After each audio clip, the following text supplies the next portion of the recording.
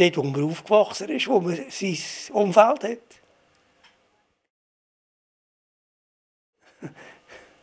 Das sind eigentlich viele Sachen. Der Beruf natürlich, meine Frau, die mir 55 Jahre schon zur Seite steht, oder? wo quasi mein galtiger Engel ist. Und das sind alles so Glückssachen. Und auch Kinder, die gut äh, Grosskinder, sogar Urgroßkinder, die wir haben, die einem glücklich machen. Also Besserwisser im Laden, die einfach quasi mehr wissen als der Berufsmann.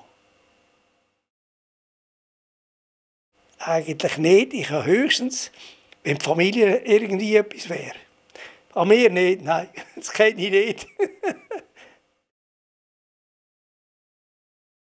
Meine Frau heiraten. Und das Geschäft übernehmen von den Eltern.